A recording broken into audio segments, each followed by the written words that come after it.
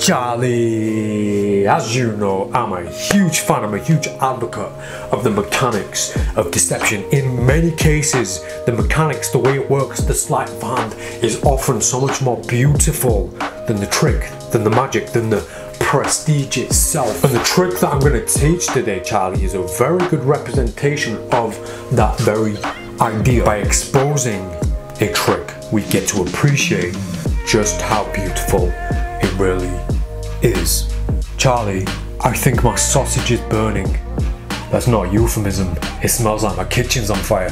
I'll be right back. I am Daniel Madison. Welcome back. Thanks for being here. Charlie Madison and I truly appreciate you choosing to spend a bit of time with us. So, thank. In this video, I'm going to teach you something that I used to call base deal. It's essentially a card switch that happens whilst you're dealing a single playing card out of your hand to a table. The method is simple, however, it is quite difficult. So this one's to take a lot of practice. It mixes a gambler's cop with a little bit of sleeving and it achieves what could look like a pseudo card cheating demonstration. Personally, I only ever use this as a way of exposing just how beautiful sleight of hand and the mechanics of deception can really be. Today I'm using the Blue Mint playing cards. I think these are called the Blueberry playing cards. These are the second edition from 52 cards. Beautiful deck of playing cards. I'm going to be giving these away. Uh, stay tuned for details on that. But right now get yourself a deck of playing cards and let's get to the switch. Thanks Charlie. The intricacies of deception can only be fully appreciated through exposure. This switch, let's be fair, let's be honest, this switch is not going to work in real life. It is not going to work. So what do I do? Do I get rid of it? Do I yeet it out of my repertoire? No, I use it still. I use it as a way of exposing how beautiful of hand is. You might argue, some might argue that your hands, you need big hands for this trick. There's this misconception in magic where, oh, my hands are too small, I can't do this trick. No, that's not that's not true. If your hands are too small, you find a way to adapt. If you think your hands are too small, you find a way to adapt. I've never once questioned whether my hands are small or not. I think they're fairly average, but if my hand is too small for a certain trick, I will adapt the trick. I won't just say, oh, and then stop doing it. I'll adapt. So um, little bit of spit there just landed on the nine of clubs.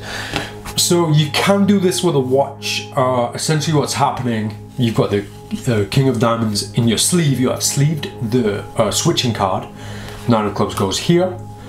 I'm gonna reach underneath grab the king of diamonds like this and we're to switch like this. The slight compromise with that is that when if i'm trying to deal a playing card from my from my sleeve here then this hand the dealing hand has to go further up the arm which is a discrepancy discrepancy which makes people ask what is he doing?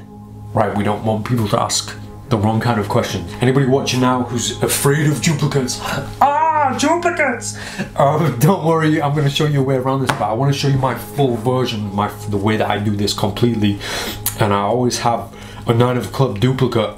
So I'm going to put one of my nine of clubs, uh, obviously it's on top. I'm to put one of my nine of clubs up my sleeve, um, face up. So it's going to go uh, on the back of my arm here. We'll stick to the two cards that I used in the, in the demo for this. King of Diamonds, Nine of Clubs. We're going to have the Nine of Clubs in play and I'm going to shuffle it back into the deck. And I say, for me to demonstrate this trick correctly, I need to find a way to get the Nine of Clubs out of the deck and have it hidden up my sleeve. Fortunately, while I was shuffling, I already did that. Now I can show people that there's a nine of clubs up my sleeve. It adds this this depth, it adds this really nice level to the deception because they think that, whoa, I didn't see that, that's amazing. For now, we're gonna have Nine of Clubs, is on my sleeve, the deck's down, they know what's coming because I'm showing them, I'm not trying to hide this in my demonstration. I then take any playing card that's being dealt to me, in this case, our participant gave me the King of Diamonds and it's gonna go face up in my hand.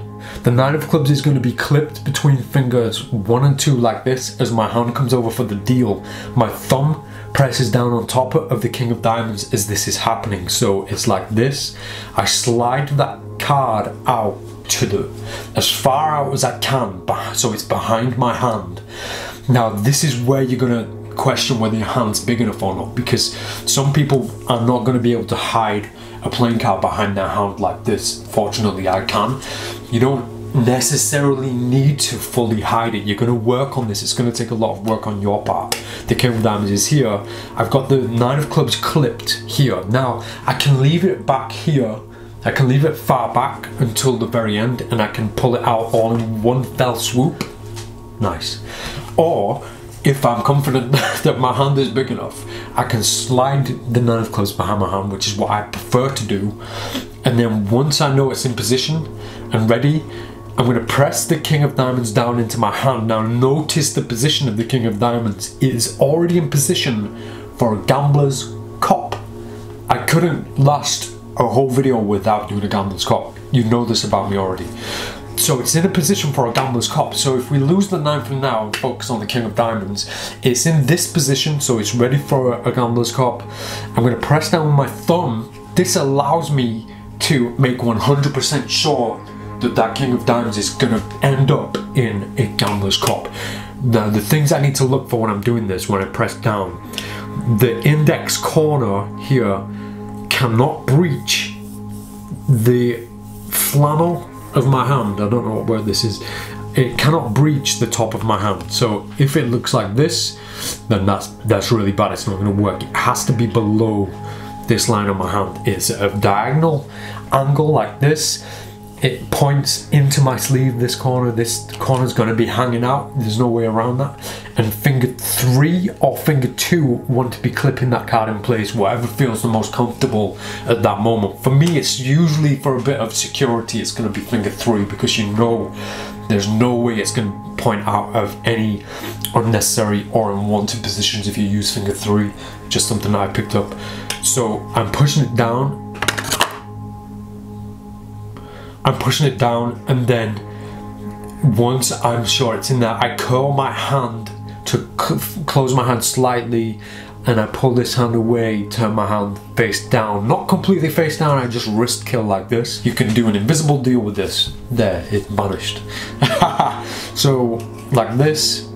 Now, now, now, now, now, now, tie this in with the uh, Nine of Clubs behind your hand. So get used to this first and don't when you deal down you're leaving your right left you're leaving your left hand really dirty. What i mean by that it's hiding a deception it's dirty. So instinctively intuitively you're going to want to hide that card you're going to want to run away. You're going to be a little bit afraid if you're not used to deception deceptive practices that is. So instinctively you go like this, you start to hide it, but really we want to leave it out in the open. We don't want to take it away. So I'm going to leave it here in a very natural position. I'm not going to pretend that, that that's natural. I'm just going to be natural. I'm just going to let it go down. And for me, my hand's kind of retracted back a little bit towards the edge of the table as it is, so that looks natural. Like this. Tie that in with the nine of clubs. So put the nine of clubs in your sleeve, you can have it hanging out whatever works best for you uh, in the retreat of that playing card retrieval of that playing card king of diamonds face down here. I'm going to show the back of it and the front of it just so you know that I'm only holding one playing card slowly I'm going to come in for the deal. My fingers one and two are clipping that card like this slowly bringing it out and upwards and then as it gets to about here just breaching the sleeve I'm going to do the wrist kill action and I'm going to pull the nine of clubs to the side. One thing I need to do when I do this when I when I clear the hand the nine of clubs is between fingers one and two. This is a discrepancy. So when it comes out I need to put my thumb on the back or on the face of the nine of clubs. So it looks like I'm I'm dealing it from that hand so your thumb's essentially to slide off of the king of diamonds onto the nine of clubs and then you're to put it down and then push it forward now you can step back now you can if you want if you're not doing this the way that I do as an exposure demonstration then at this point then you're free to just get rid of the, the king. You can lap it, you can ditch it, you can servante it, you can get it in your pocket, wherever. Because at this point, everybody's looking at the nine of clubs. First thing I found everybody wants to do at this point, even when I'm showing them how it works, they want to see on the other side of the nine of clubs. For some reason, people think that this is going to have something to do with it because it kind of came from nowhere. So from this position, we go like this, and then I come back, turn it face up. This is a good moment for me to ditch the king of diamonds, but like I keep saying, for me this is a trick of exposure, so I'm going to expose the trick. If I don't want to do it all in one go, which I like to do, I like to come in like this slowly and then do the deal. If I don't want to do that, I can get ready up, up, up front. I can get ready first by bringing the nine up here, waiting a few moments, and then dealing. I think I'm going to finish there because I'm very conscious of the time. I think I've said everything that I wanted to say about this deception at this moment. So that's right, Charlie Madison. I hope you enjoyed that switch. I'll be in the comment section after this video. Let me know what you think. I'm not going to give these playing cards away just yet because I didn't use them as much as I wanted to in this video. In fact, I'm going to give away all three of the decks that my boy Assad sent me from 52 cards. These are the Mint playing cards. They are beautiful. I've used these two decks, the white one and the green one a few times, but it's the first time I've used the blue ones and I want to get a little bit more use out of these, but I will be giving away all three to a lucky member of the Malliance. I'll leave a link in the video description. I'll be back soon with some more dope tutorials. I'll All asking return, make sure you subscribe so you get my notification bell going every time I drop a new tutorial. Thank you, Charlie. I'm Daniel Madison. See you next time.